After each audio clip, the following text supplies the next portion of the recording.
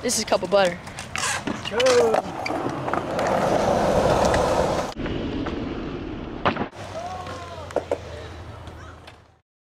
Butter in a cup, yeah!